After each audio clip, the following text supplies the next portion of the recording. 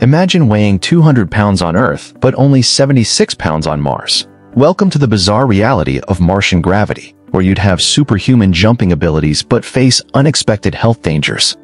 Mars's surface gravity is just 38% of Earth's, or 3.7 meters per second squared compared to our 9.8, because Mars has only about half Earth's diameter and just 11% of our planet's mass, resulting in significantly weaker gravitational pull. This means if you can jump half a meter high on Earth, you could theoretically leap nearly 1.5 meters on Mars, and lifting heavy equipment would feel three times easier, making construction and exploration less physically demanding. But here's the darker side that NASA scientists worry about.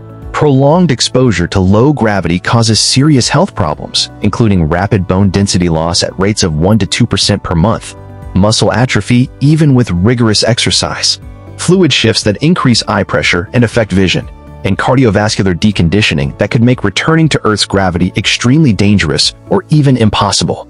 Future Mars colonists would need to spend hours daily in artificial gravity chambers or wear weighted suits to maintain their health, turning what seems like a superpower into one of the greatest challenges facing human settlement of the Red Planet.